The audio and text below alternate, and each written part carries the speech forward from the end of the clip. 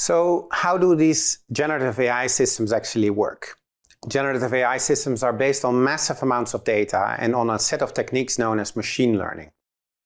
The data are used as training material, fed to a supercomputer, that applies sophisticated machine learning techniques, and finally, after incredibly many compute cycles, produces a trained model.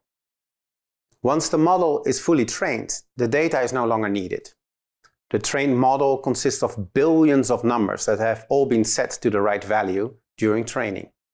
Together, all these numbers, called parameters, determine the knowledge that the model has learned about the domain.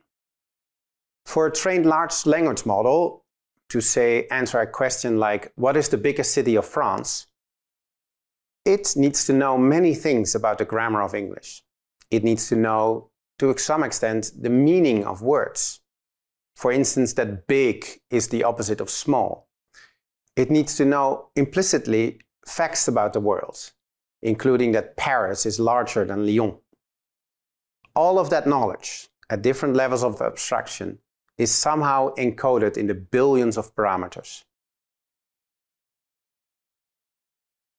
Similarly, an image generator needs to know all kinds of things about images, and about the relation between images and their descriptions in English. It needs to know what color red is. It needs to know that in portraits, the eyes of the main character are typically a little bit above the middle of the image, and that the background is often a bit blurry. In short, it needs to know what typical photographs and drawings look like, what the world looks like, and how humans describe these images. One of the big discoveries of the last few years is that machine learning plus large amounts of data plus large amounts of computing time on supercomputers can indeed deliver generative AI systems that have acquired knowledge of this type. One final important note is that it is not the case that the models have simply memorized the entire dataset.